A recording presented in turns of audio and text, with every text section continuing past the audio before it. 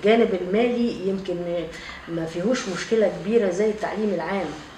آه، من الحاجات الناجحة جدا اللي هي المجمعات التكنولوجية ولسه كنا بنشوف آه، يعني في موضوع الجامعات بقى التكنولوجية ده استمرارية لتحسين وضع التعليم الفني بحيث إن كان آه، تجربة المجمعات التكنولوجية دي المجمعات دي في مرحلة المدارس. آه، وبالاتفاق مع جهات أجنبية.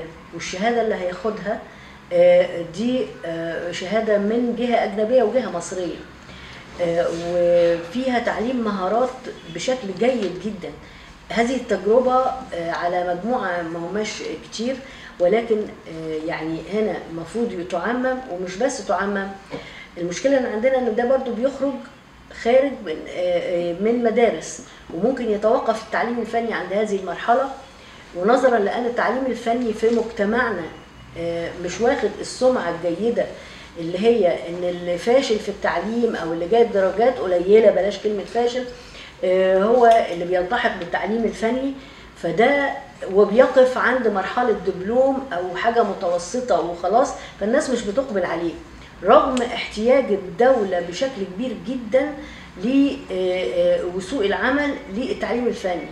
وكمان ده هيقلل الضغط على كمية الشهادات اللي بتعطى في الجامعات ودخول الجامعات اللي إحنا مش محتاجينها.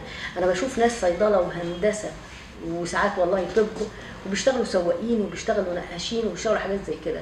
ليه؟ لأن سوق العمل مش محتاج هذه الكمية من هذه الحاجات وبالتالي بي- بيلجأوا لحاجات زي كده. يعني اللي أنا أقصده إن في احتياج شديد للتعليم الفني لكن تدهوره في مرحلة سابقة زائد ال- الجانب المعنوي والجانب ال- ال- ال- اللي هو تحسين وضعه في المجتمع دول كانت مشكلتين كبار.